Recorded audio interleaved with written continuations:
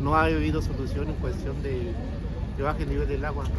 Ya es bastante la, la calle, es este, las aguas negras más que nada, se está complicando nuestra situación. No, no es solución, la cuestión es que desalojen todo el agua, desalojen ya la cuestión de, para vivir ya con sociedad y todo eso ya es imposible ahí.